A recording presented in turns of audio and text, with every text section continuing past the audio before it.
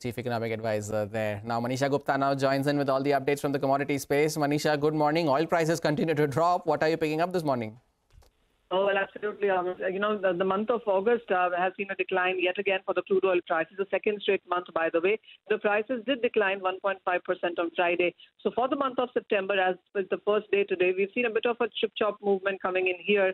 Well, markets will watch out for the fact that the eight OPEC and allied companies will now start increasing supplies from the month of October, and this is by 180,000 barrels per day. So this is uh, the statement that would come in in this week itself from OPEC and allies from their meeting is what is going to be of importance.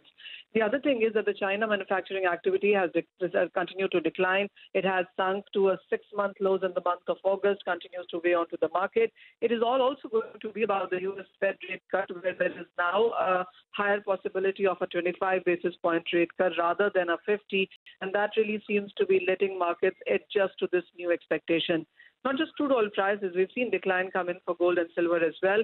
Uh, for the last week, it has been on a negative note. For the month of August, of course, gold and silver both have been on the positive side.